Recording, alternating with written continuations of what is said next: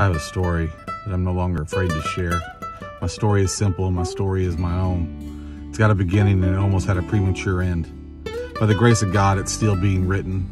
Pages added, chapters unfolding. The beginning is common. A young man from a Christian home accepted Christ at 11 and ran from his call seven years later when it was time for him to be on his own. I've seen beautiful places, beheld some lovely faces. From time to time, I've seen some amazing graces. I wore a uniform for Uncle Sam, but injury cut me down. I lost my sense of direction and began to spiral down. Alcohol and pills and other vices here and there, nicotine addiction and guilty conscience because of my willing sin. I thought it might be too late to come back from it all, so into myself I would further crawl. I'd visit churches full of conviction, I'd fall to my knees. But when I'd walk out those doors, Satan would call. I should have blocked his number, I should have asked God to cut him down, but I kept getting caught in his snare like a wild coyote in despair snarling and barking until the darkness set in. Now I work in a jailhouse. Vileness and anger abound. I thought I was okay, but in reality I was beginning to drown. I no longer saw sunrise or celebrated the winds. I was numb to it all except for the pain in my soul and the devil's nasty call.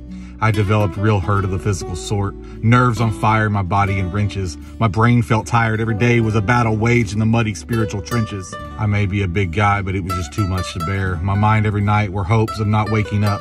I wished I was dead. When the morning came, I'd run my fingers over that 9 millimeter cold lead until the thoughts would scare me, though coming from my own head. Daily was the battle, thinking, how do I end it? I'd think of the ways and the places, but could never pull the trigger. Because in my heart and my soul, I kept hearing, don't do it. I've got plans that are so much bigger.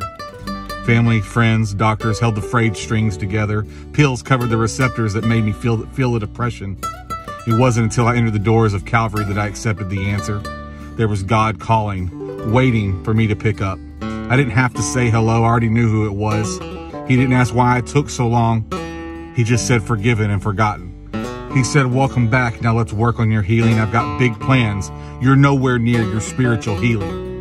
God removed the medicines, the vices, the crutches, and he reminded me how to walk and talk, showed me his love in bunches. He's revealing his plan to me a little more each day. He has straightened my path and helped me not to stray. Thank you, God, for your love, your healing touch, and your son.